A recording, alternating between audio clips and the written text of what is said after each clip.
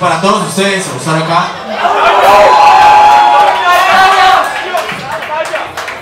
Batalla mañana por levantarse, pues, breteano.